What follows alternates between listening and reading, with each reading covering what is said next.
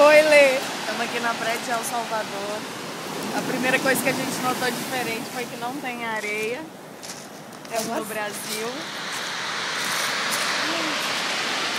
E o mar é lindo como em qualquer lugar.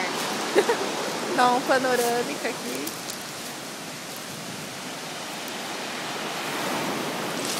Ui! Pra variar. As,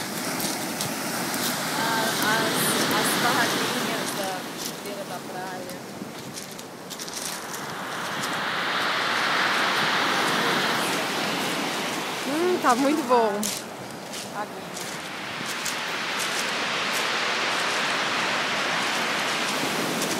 Depois daqui a gente vai para um, um sítio arqueológico. Mas a gente quis ver a praia antes de ir.